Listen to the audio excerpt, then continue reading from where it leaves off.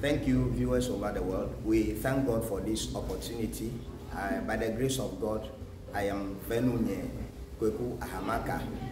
I am a member of Evangelical Presbyterian Church, that is my mother church. I do visit other churches to minister the word of God, move around, and uh, by the grace of God, I've come across the father and the chancellor of Rhematose Bible Academy, and uh, this uh, today's program, that is the Ministers Empowerment Bootcamp, has been a transform, a life transforming one. To be frank with you, this is a generation changing agenda.